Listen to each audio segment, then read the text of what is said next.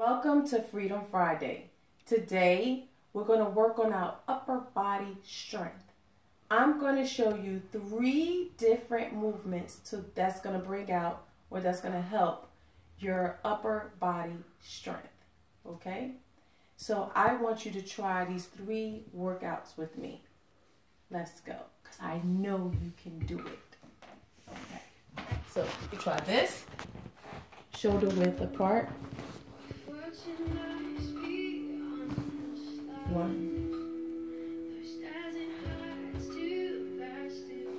Two.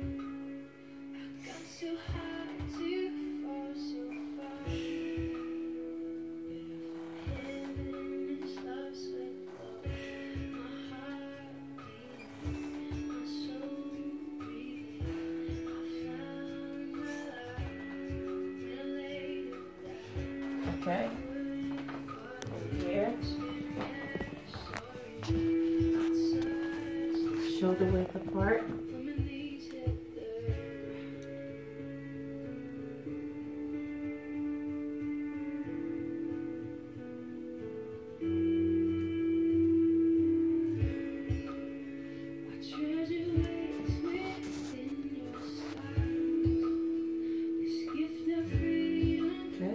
That.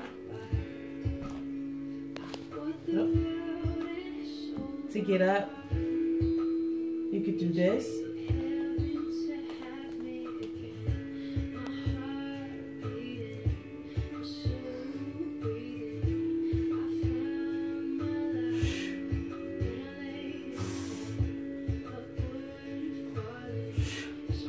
One more.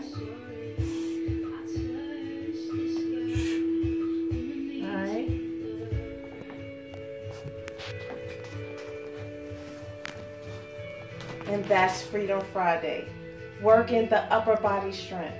Trying to get our upper bodies um, to be stronger. Okay?